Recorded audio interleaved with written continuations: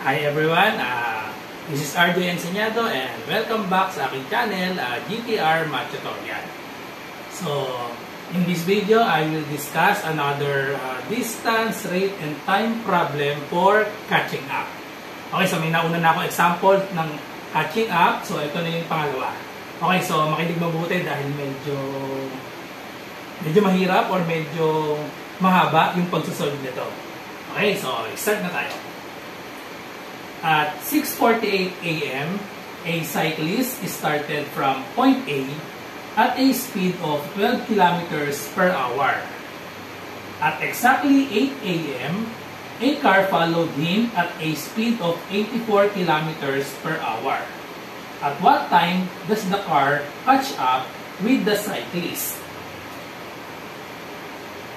Wala yung question mark. Okay, so analyze natin mabuti. So medyo mahirap ito kasi, di ba sabi ko nga pag nag-solve ng distance rate, distance rate and time problem, kailangan yung unit ng speed at rate parehas dapat. So dito kasi, meron tayong magkakaroon tayo ng minutes dito eh. Kasi hindi eksakto yung hindi eksakto yung oras, 6:48 AM umalis siya. Speed niya ay 12 km per hour. Tapos yung pangalawang given, exactly 8 AM. A car followed him. So yung oras ay magkakaroon ng magkakaroon ng minutes. Eh yung given ay na-rate ay kilometer per hour.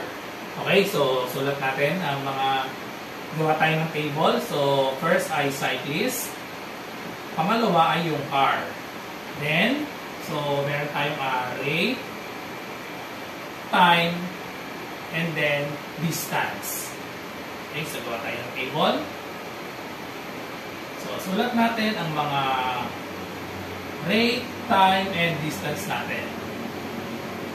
Or yung distance is solve natin yan eh, no? So, given ang R.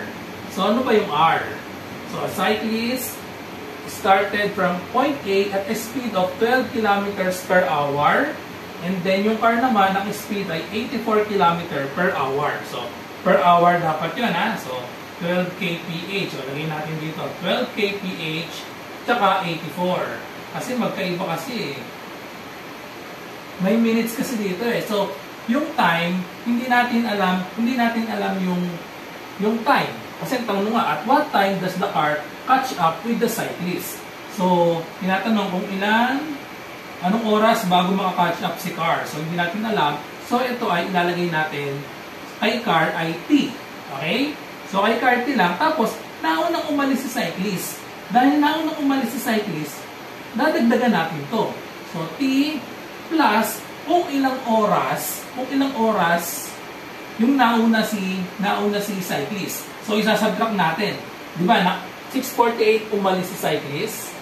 Tapos, umalis naman si si car ay 8 a.m. So, gaano katagal yun? In hour dapat ah. Kasi ito kph. kph to, dapat ito ay in hour din. So, subtract natin 8 a.m. tsaka 6.48 a.m. para makuha natin kung ilang kung ilang ano yun. So, scratch lang muna. Burahin ko din ito mamaya. Ha? So, 8 a.m. minus 6.48. Okay? So, subtract lang natin para makuha natin yung uh, kung ilang uh, oras yan.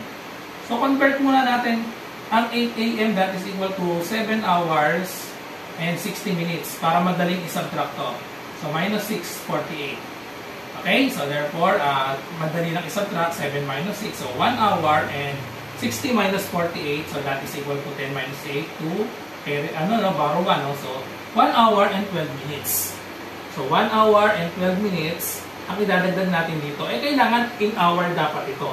So, si 12, 12 minutes, convert natin sa hour. So, that is 1 point, o, oh, muna natin. 12 minutes, convert sa hour. Pag nagko-convert tayo ng uh, minutes sa hour, i-multiply natin sa conversion factor, di ba? So, yung minutes nasa taas, kailangan nandito siya sa ilalim.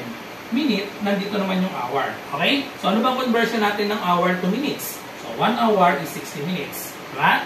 So, cancel na yung minutes. So, matitira is, matitira is 12 over 60 hour. Okay? Then, convert natin ito. So, saan pwedeng i-divide ang 12 at 60? Okay? So, parehas, pwedeng, lowest term lang natin, parehas pwedeng i-divide yan sa 12. So 12, itong baba ang 60 ay 12 times 5. Okay? So therefore, cancel out lang natin yung 12. So that is equal to 1 over 5 hour. So pwede pala tayong mag mag-fraction na lang, no? Or kung gusto niyo namang i-decimal, pwede namang So, ang pag-solve, pwedeng decimal, pwedeng fraction. So, ano ba ang magandang gawin natin?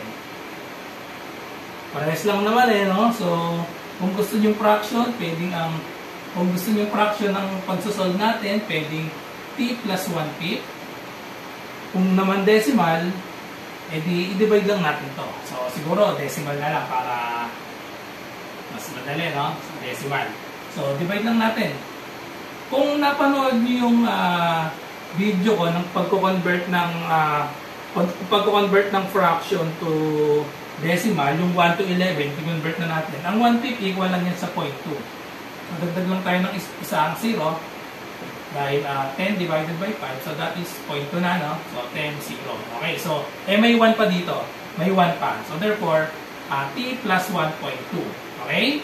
So, ayan. So, dito pa lang sa umpisa nag-solve na agad tayo para pa lang dito sa para pa lang dito sa hour na nauna si cyclist. So, 1.2. Nauna ng 1.2 hour si cyclist bago umalis sa car. So, same direction sila.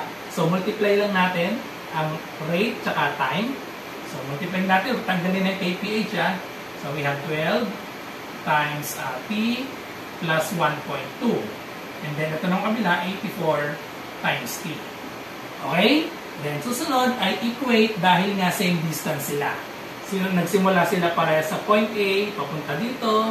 So, ito na yung distance nila. Ito naman si car. So, hinabol niya. So, ito rin yung distance nila. So, same na yung distance kapag nag-catch up. Kaya, equate lang natin yung expression para sa distance ni cyclist at ni car. Okay, so ang tinatanong dyan ay baka pag nasolve kasi natin yung T, hindi pa tayo matatapos doon. Ang tanong kasi, at what time? Okay, so at what time ha? Umalis, umalis si car 8 a.m. So tinatanong at what time? So solve lang natin. So just equate. So we have 12 times T plus 1.2 equals 84 84T. So solve for T. So therefore we have, oh, uh, distribute natin yung 12 tsaka 1.2. Okay? So, distribute lang natin. So, 12 times t, that is 12t, plus 12 times 1.2. So, perfect naman eh. Parang isipin natin 12 times 12. Di ba? Perfect square yun. Pag multiply natin 12 times 12, that is 144. Okay, so kung, kung hindi nyo kabisado yung mga perfect square, edi multiply na lang natin. 12 times 1.2, so we have 2 times 2 is 4, 2 times 1 is 2. So 1 times 12, so that is 12. So therefore, we have 1, 4, 4, may isang decimal. So therefore, 14.4. Plus 14.4 is equal to, just copy 84t. Okay? So next ay solve for t. Solve for t. So pagsamahin natin si 12t at si 84t, tanggalin si 12t dito. So subtract 12t to both sides. Subtract 12t to both sides para ma-cancel out na ito. So therefore, we have 14.4 is equal to 84 minus 12. So that's equal to 4 minus 2. That is 2. 8 minus 1. So that is 72t. Okay?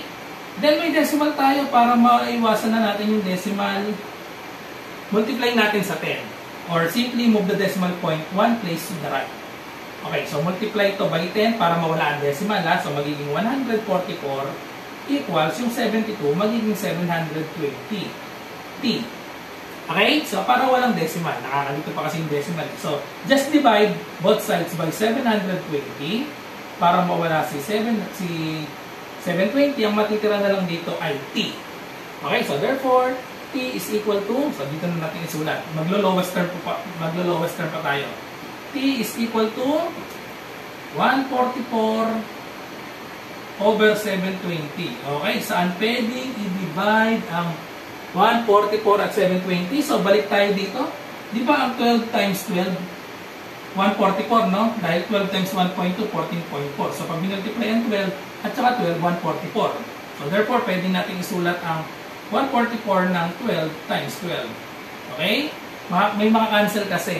So, wag na nating i-divide agad kasi pag na, kaya tayo naglo-lowest term para mas madaling mag-divide. Kasi laki ng number, 144 over 720, maubos, maubos agad yung oras.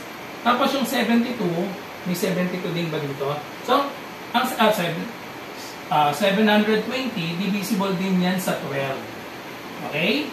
So, 720, that is uh, equal to, ang 72 kasi ay 6 times, uh, 6 times 12, 72. Diba? So, i-factor natin 720, tanggalin natin yung 0, so 10 times 72. Okay? Tapos yung factor ng 72, that is 6 times 12. Yun, may 12 na. Okay, so therefore, huwag na natin kunin yung mga prime factors, dito na lang tayo mag-focus. 6 times 12 is 72, times 10, 720. Okay, so we have 6 times 12 times 10. Okay, so we can uh, cancel na cancel na natin yung common 12 tsaka 12. Common yun. So, tapos, i-divide pa natin. 12 divided by 6. Ano yung sagot sa 12 divided by 6? That is equal to 2 na lang siya. So, therefore, we have 2 over 10. Tapos, hindi pa tapos, pwede pang i-lowest term ulit ng 2 over 10. Okay, so 2 over 10, pwedeng i-divide pareha sa 2. Okay? 2 divided by 2 is 1. 10 divided by 2 is 5. Therefore, the time is 1 fifth hour. Pero ang tinatanong natin dito, given natin yung minutes eh, tinatanong at what time. Hindi naman natin pwedeng sabihin 8, 1 fifth a.m. Ay dapat in minutes. So, tinatanong, tinatanong minutes the 1 fifth hour. So, ibalik natin sa minutes yan. Parang ito lang din yan eh, no? So, 1 fifth hour, so i-convert ulit natin. So, 1 fifth hour times the conversion. Ano ang conversion natin? Nandito naman yung hour. So therefore, nandito yung 1 hour para ma-cancel yung hour. Ano? So ganun pag nag-convert tayo, dito yung 16 minutes. Okay? So therefore, we have wala na yung hour. So meron na lang tayong 60 divided by 5 minutes. So 60 divided by 5, that is equal to 12 minutes. So hindi pa natatapos dito sa 12 minutes. Ang tanong kasi, 12 minutes bago ma maabutan ni car si cyclist. Pero ang tanong, at what time? So therefore, ang oras natin, ang pinaka final answer natin ay at 8 uh, and 12 minutes. So 8.12 a.m. maaabutan ni car si cyclist. So ito yung eksaktong oras, 8.12 a.m. So, after 12 minutes pala, maaabutan na agad ni car. Siyempre, mabagal lang yung takbo nung nagbabike, di ba? Ni cyclist. Okay? So, medyo mahaba yung solution natin. Ang nagpahaba lang naman dyan, yung pagko-convert. Kasi nag-convert tayo, hindi kasi parehas. Ito ay hour, kilometer per hour, tapos hindi natin may minutes. So, kung, kung hour parehas, madali lang isolve yan, diretso na. So, medyo nagpatagal lang yung pag-convert natin. Okay, so para pinaghalo-halo na natin dito, may fraction tayo, may decimal, may equation. Okay? So that's also, sana uh, may natutunan kayo. At uh, kung meron man, so sana please subscribe, share, and like. Okay? So, bye-bye and God bless.